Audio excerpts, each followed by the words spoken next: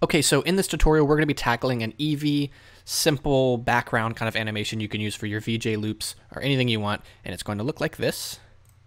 Right here, it loops seamlessly.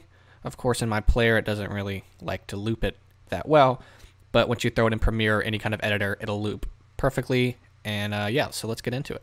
So for the triangle shape, all we're going to do is we're going to drop in a cylinder, and then right here on fill type, put it on nothing, and then up here on the vertices, bring it all the way down to 3.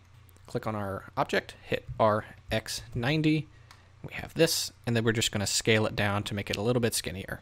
And that would be on your Z scale. So put her out right about there, maybe a little bit wider. And then we're going to go and add in a solidify. Just like that. Okay, that's all we need to do.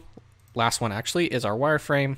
Click replace original and then make it a little bit thinner and now we have our model. So first thing we need to add is our empty. Click your empty. I didn't do it.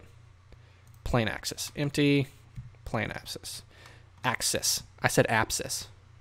All right, so the next modifier we need to add is an array. So we'll just sort of unclick relative offset and click object offset and click empty. Okay, so our first problem here is this is basically the same size as when we imported the object. So what we have to do is copy the dimensions from here and put them onto your empty. So first on the rotation, click on your empty and put it at 90. And then, let's see where we at, 1, 1, and 0, 140 on our scale. So put on X and Y 1. Then go back to your cylinder here on the Z, just hit Control C to copy that so we don't have to type it in on Z and then Control V, paste it in, and now it's the same size. And then if we move our empty, there's our object. So let's just go back to our triangle and give it a bunch of copies. All right, the next thing we're gonna do is quickly add in a camera. We'll give it a rotation on the X of 90, and then Y and Z give it zero, and then hit zero to go in. Then hit G on the mouse middle click and just pull back. So we're going to get all the way till it just about covers the camera. And then let's go into our rendered view and we can't see anything. So let's add in our materials. First one, we're going to keep it just about there. We don't need to touch that. We're not really going to see it because the bloom is going to overtake it. We're going to add another one and make it an emission shader. Put our strength at 50. Make it whatever color you want. I'm going to make it blue. And then when we look at it, we still don't see anything. And the problem is we need to go back to our wireframe and click Material Offset 2. And then now we see our material and there's our model.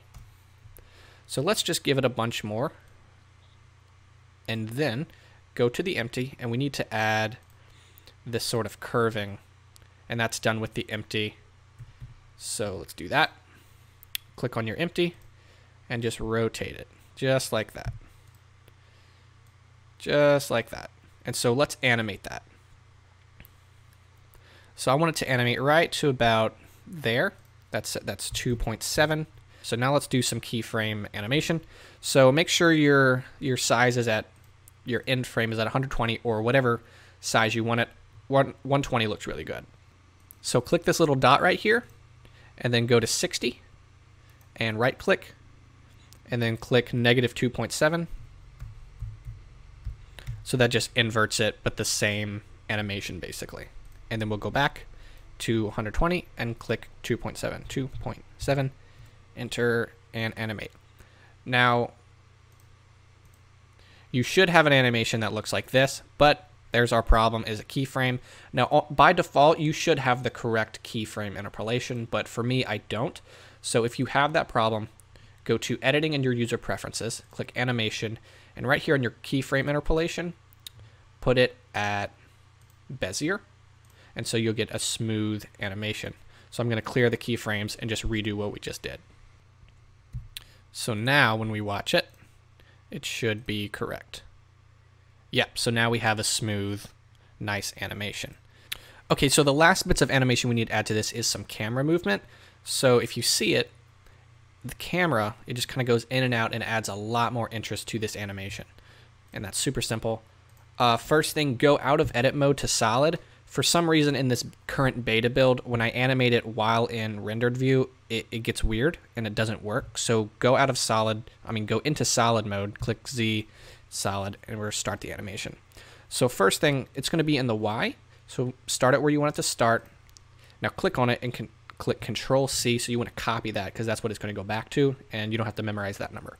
So click Animation, the keyframe, go to 60 or whatever the middle of your um, animation is, and just zoom it really far in. You want this to be dramatic. Right about there, click keyframe and go to 120 and paste it in. And that's all you need to do for that. Go to rendered and check it out. And it looks pretty weird right now. Uh, I think that's the motion blur. Yeah, there we go. And there you go. That's your animation. You kind of check it out. And if you don't want this big hole, obviously you would just want to go and add a bunch more. That makes it a bit slower, but you know, got to do what you got to do. And there you go. That's the animation. It's really simple. It's really fun, and you can add it to whatever you want. Um, you can put like a little ship in the middle, or just do whatever you want. Be creative. And yeah, that's it. Thanks for watching.